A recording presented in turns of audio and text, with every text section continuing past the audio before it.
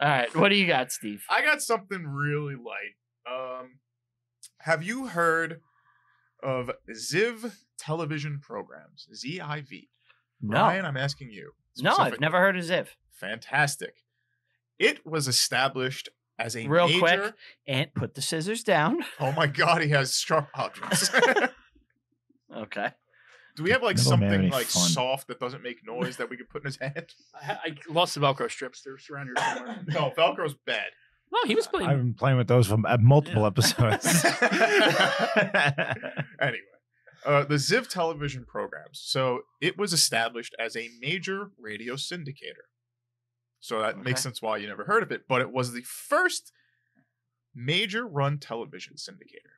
So they were the Oh. first television network. Syndicator, yeah. Okay. So what they would do, they create several series in the 1950s, sell them to regional sponsors, Do we who know then any of these shows? Turn. Yeah, that, that was my next question. would sell it to local stations. I'm only going to go over the one sh- major TV show because it actually has an interesting first. Is it the Honeymooners? It's not the Honeymooners. Mr. Ed? It's not Mr. Ed. Buck Rogers. Nope. It was Howdy the, Doody. It was the first major TV hit. Was the Cisco Kid? The Cisco Kid. It was a TV. I know you don't series. want to unleash the dragon. Yeah. Running 1950 to 1956. Hmm. It was starring Dunkel, Duncan Ronaldo, um, who played the Cisco Kid, Mhm. and Leo Carrillo as the jovial sidekick. So the story, it's actually the jovial sidekick. His name was Pancho. Ah, Slightly um, Problematic? Wait, not Waco PC. Kid. At the I would- time? at the time, you know, 1950, 1956. well, I gonna think be- the Lone Ranger had to have been influenced by this, right? you would think so. Because I they feel like I've had heard of this. So this this series specifically was syndicated to individual stations and was like a kid show, basically. Oh, it was a kid show. It was like a cowboy western kid show. okay. Uh, but it was the, technically the first syndicated series. Hmm. Yeah. Not only was it the first syndicated series, it was also the first television series to be filmed in color. What? Wow. But it wasn't seen wasn't. in color to a lot until the 60s. Mhm. So There's it's a nobody had nice, color this is TV. a So they multiple had it. first. They had This it is a- ready to go. They had it ready to go in color, but it Get wasn't- them. What What was that? Wait, what was that Western show we were watching the other day? It was pretty fucking cool. You had it on here. He was, Uh, was that Have Gun Will Travel? Have Gun Will Travels, uh, which was some episodes were written by Gene Roddenberry, Oh yeah. which is like you'll hear Star Trek stuff in there. Mhm. Like the needs of the many outweigh the needs of the few. Ah. And yeah. But, But- uh I was gonna say it's not like like color film wasn't around. Look at Wizard of Oz.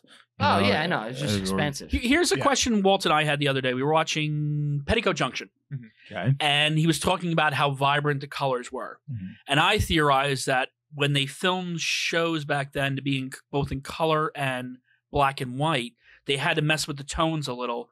Because I know, like if you, I know, like if you look at what the set of the Munsters look like, like the walls are pink. Mhm. And the Munsters? Yeah, Yeah. because that showed up as gray. Yeah. Oh. But- When you film in color, if you're both showing it in color and people have black and white TVs, do you have to adjust the color palette on the color side so that it still appears good on the black and white side? And that's why the if the walls are look pink, so vibrant. absolutely. Yeah. Yeah. Sure. I don't know if you Um, would know. Probably. I would say, uh, it, in theory, it makes sense that if you are wearing a dark green, it's going to show up blacker than if light green, which will show up as light, you know, Mhm. gray. Okay. So that makes sense.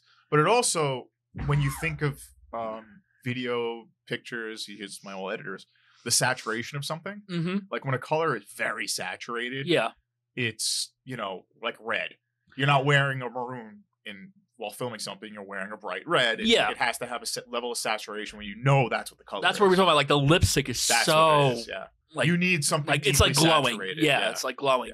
And I theorized that was because since the shows back then, people still had black and white TVs. Mhm. They wanted it to be watchable. right. Yeah. right. Yeah, I think I think you're right. Okay. It makes sense. Okay. Um, with this, it was the first color TV series, um, which is pretty interesting. It's another first. It's the first syndicated series, so we got a duel there, right? Yeah. Right. Hmm. Besides that, there's, it, it was kind of a basic show. It was like a Robin Hood esque show. But what I also found interesting about it is So he would kind of travel around and like help people with their problems.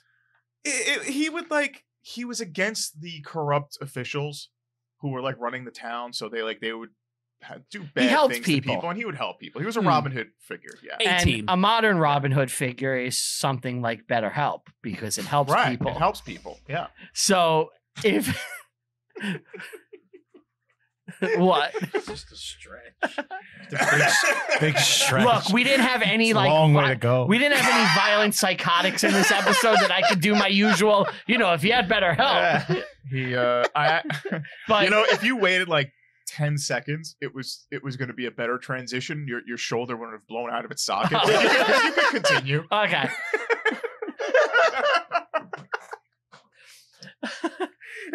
I just I was getting nervous because we're almost like at the end. You know. Yeah, no, it's fine. It's fine. All right.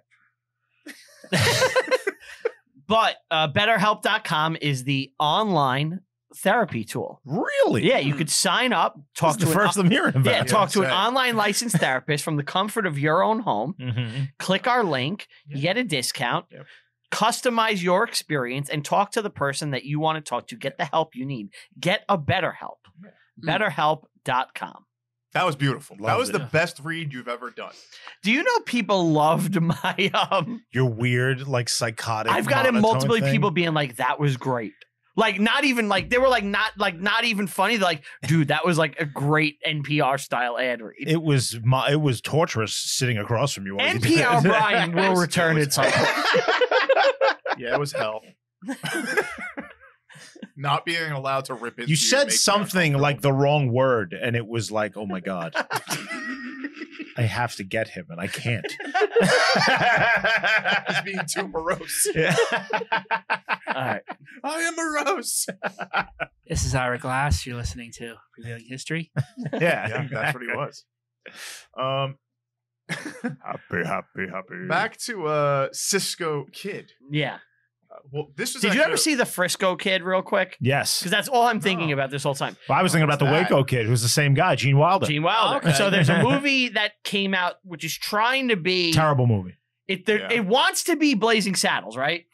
It's sort of. It's just a You- western with but- Harrison Ford. But and you cast Gene, Gene Wilder. Yeah, The premise is Gene Wilder is an Orthodox Jewish rabbi who is from the- Poland. from Poland. He's a Polish immigrant who has to get to like San the, Francisco. the synagogue in San Francisco. He's crossing the country with There's Harrison a Ford. synagogue in San Francisco. Yeah, he's the new This ra- he's the new rabbi in San Francisco, and he has to get from like New York to San Francisco, and Harrison Ford is his partner. I guess zany stuff. Happens, Zany huh? stuff happens. No, and they hijinks and they learn from each other and they, right, they like each other. Right. Like their relationship is honestly the best thing in the movie. But every time you say Cisco Kid, I keep thinking of this like this like forgotten shitty movie from Yeah. the seventies. Why have we both seen that? We watched it together. I'm pretty sure. Hmm. Did we? Yeah. While you were trying to make babies in space. Can't I imagine remember watching that on thinks were television. gay. Yeah, we watched it together. I'm pretty sure. Mm. I remember I rented it from Netflix. I think I told you it was good. Yeah, you did. Yeah. And then we watched it together. And I was like, what the fuck were you thinking? Maybe thinking of the Waco kid. that, that was when we were watching like just every Western. yeah. And you're like, dude, you, You guys got should Dude, watch- Frisco kid. Honestly, after hearing this, I think you guys should watch it. You guys should watch. If I you would could watch find the it, show. You two should watch the Cisco Kid. So the main title, uh, the main title, the main role was Duncan Ronaldo, right? He played the Cisco Kid. Ronaldo did his own stunts. And he can score a He mean goal. gun- he learned how to do some gunplay. His friend Pancho was using a bullwhip, but during one of the stunts, he Mama received tomato baby. an injury. So he would actually get injured a lot. In one episode, he dodges a 65 pound paper mache boulder. The old school, Oh, like, Indiana running Jones. away Indiana Jones Yeah. boulder, which might be one of the first scenes that that was in, Uh-huh. right? We're talking 50 Started, Possible. started the trope. Yeah, it might Okay. have. Um, it hit him in the head. I'm in the Gorn through one at Kirk. Yeah. hit him in the head, broke two neck vertebrae, and he was paralyzed for two months. From I don't think paper mache BetterHelp can help you with paralyzation. No, but You can reverse paralyzation. with better help. Well, he just he just said that He he was was, paralyzed for two months. I think because like he the broke two swelling. neck Yeah, maybe like the Yeah. swelling goes down and it, it eases Oh. pressure. It's a temporary But how paralysis. sick- That's is got to that? be How scary. sick is that? You don't know if you're gonna get better. Mm. You know, so Cisco Kid, yeah, it's got a, a couple of firsts. It That's sounds awesome. I kind of want to. And Ziv is the first syndication network. network. They they produced a Huh. couple of different shows. Look it up. You can see what they did. I didn't know any of them because we're talking the 50s, so it's like Mhm. I'm not very well versed. But you might know some. Hmm.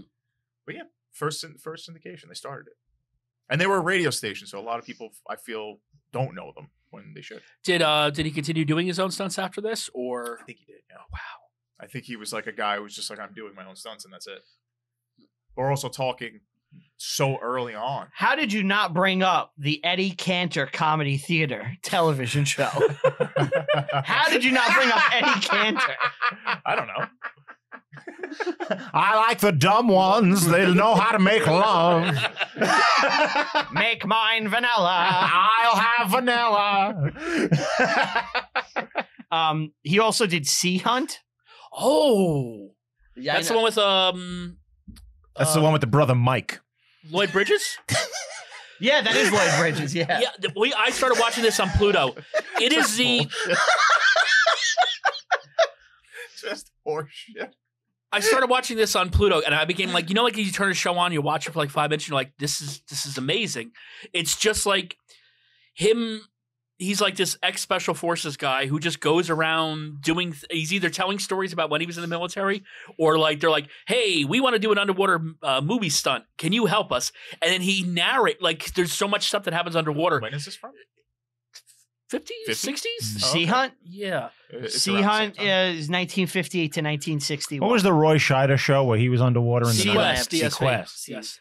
But like he since they're underwater and there's no sound, it's like Mhm. it's like 30 seconds of just footage and then Lloyd Bridges starts narrating for a bit and then it's 30 more seconds of just underwater footage and it's like I- but like you're like this is what was entertaining back then. Mm. Like I don't think people would have the attention span for this Well, anymore. it's also especially back then. Seeing that stuff is brand new. Yeah. Yeah. yeah. You know, you haven't seen that. like they like- got the big old they have the big old uh like masks and the the, like, the big tank and he's wearing speedos. I this it's I don't know if it's comparable, but it's I think it's the closest thing that w- it's in living memory that we can remember. Do you remember when Planet Earth came out, Yeah. the oh, nature the show? BBC Yeah, show. that Yeah. Okay. And Blowing. it was like this is what HD was made for. You know, Yeah. it was the Okay. brand new HD was the brand new thing, and fucking Planet Earth was the shit. It was, was. fucking You know, It was beautiful. And Still they aired like Yeah. every night for like five Yeah. nights, right? Yeah. I, I think Sea Sea Hunt was more like like Marty Stouffer's Wild America. I don't know if you remember that those shows. That'd be like I've on heard of them. I've, I've never actually seen it. Like it was just like showing things going on in the woods and like Mhm. someone's talking about what's what's going on, but at least it's in color. Yeah. And one other tidbit I just discovered about Ziv. Yeah. They had a show called Highway Patrol. Have you ever heard of this? No. Highway Patrol ran Early for like five years. It's a 100, chips. 156 episode show, Wow. but it is the first American series to be broadcast in West Germany. Really? Yeah. Hmm. So that's these Americans, they're always getting into hijinks on the highway. They like this Highway Patrol. It reminds me of the Autobahn. Remember when the Führer made that?